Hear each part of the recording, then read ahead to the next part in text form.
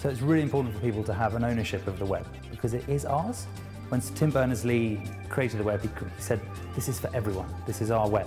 And as citizens of the world, we have uh, a right to input. Are the youth today engaged in the web? Well, we all know that young people love technology.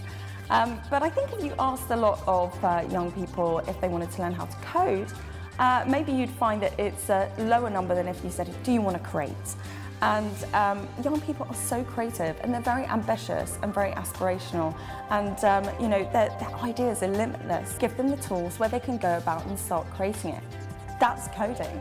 It's vital that we get young people engaged in coding because we live in a digital economy and to have an understanding of the technology behind the web is really important for a citizen in the 21st century because you've, I mean, it's everything. It's transformed every industry. It will continue to transform industries. And to not have an understanding of that means that you are disenfranchised and not empowered to exist as a, as a citizen. That the generation that grew up with the BBC Micro, with the ZX Spectrums, with all the computers in their, in their home, with a command line, the cursor blinking at them, uh, inviting them to code, they're actually probably more empowered because they've had that hands-on experience of getting a computer to do what you want it to do by, by writing code for it. And the children today, they're so disconnected from the actual command line, you know, where you actually type in instructions. And at the moment, we're not even giving uh, you know, young people the opportunity to discover their natural talent for it. Are all these kind of myths and cliches about you know, what it is to take, it takes to become a great coder. But um, on a kind of you know, broad democratic level, I think absolutely everybody, I think there's a requirement for having a basic level of digital literacy. I think we're barely scratching the surface of the energy and enthusiasm that we could inspire in the nation and in the world, like generally. Uh, there are lots of young people out there and barely a fraction of them are learning to code and doing stuff on the web and they all could be and it's a great empowering skill for them and uh, I think we should be doing more so we're, we're at the very foot of the mountain. So everyone should learn to code for the web but there are two types of learning to code, in, in my view. First is learning actually the skill of programming and of building stuff for the web. And that's really important because every industry is being changed by it.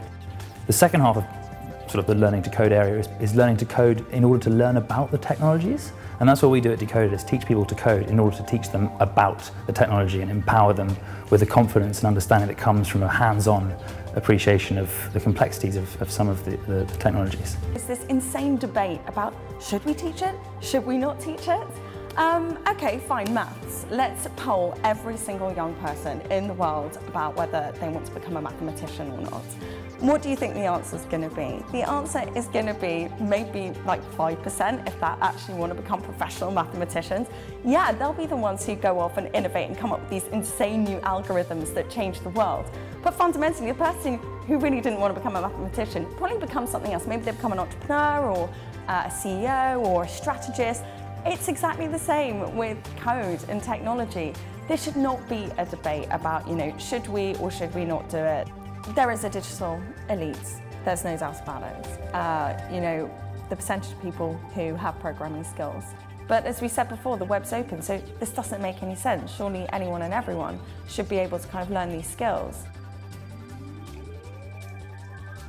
Who's responsible for getting young people into building stuff, into development, into programming?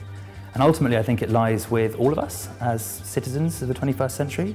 Teachers play a massive role in just inspiring in their students that, de that desire to learn it. Because ultimately, you can't really teach anyone anything. You, only have, you can only inspire a desire to learn and teach yourself. You can facilitate the teaching process, the learning process, but really it's the young people that have to catch the bug of wanting to make stuff.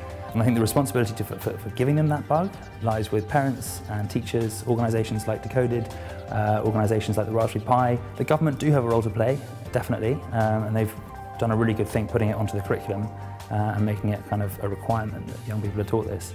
So I think we all have a role to play in inspiring young people.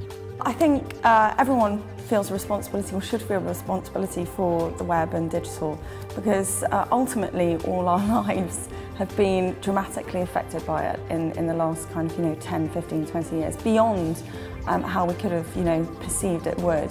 Um, from our kind of day-to-day -day lives, but through to also our professional lives. Um, so in terms of our responsibility for it, it's, uh, you know, it is one of the most democratic tools that exists uh, and we powerfully and passionately believe that. And ultimately, it's open. Uh, we can all kind of have a say and a play and, and a role to, to play in shaping it.